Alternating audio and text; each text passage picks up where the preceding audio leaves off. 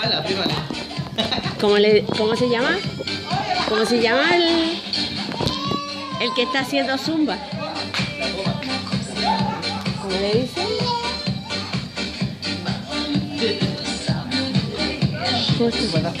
Sí. Never, never.